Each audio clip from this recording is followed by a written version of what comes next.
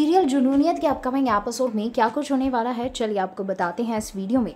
दरअसल आज के एपिसोड में जहाँ हमने देखा कि किस तरीके से इलाही के पीछे एक लवर पड़ जाता है और वो इलाही की लाइफ को कहीं ना कहीं जो है डिस्टर्ब करने की कोशिश करता है और साथ ही इलाही से शादी करने की भी जो है वो प्लानिंग करता है। वहीं दूसरी तरफ़ इलाही जहान और जॉर्डन के बीच में एक जंग छिड़ जाती है जहाँ पर जॉर्डन और जहान के बीच में एक बड़ी फाइट देखने को मिलती है।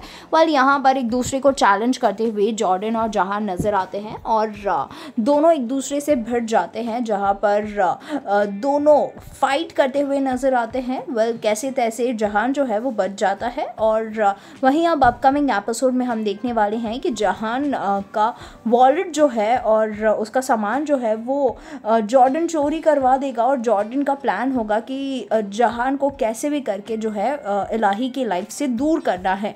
वेल well, अब वो एड़ी चोटी का जोड़ लगाने वाला है इलाही और जहान को अलग अलग करने के लिए। वहीं उसने ये सारी प्लानिंग्स भी की हैं। अब देखना ये होगा कि उसकी प्लानिंग सक्सेसफुल होती है या फिर नहीं। क्या जहान और इलाही जो है वो एक दूसरे से अलग अलग होते हैं एक दूसरे की लाइफ से दूर जाते हैं या फिर नहीं?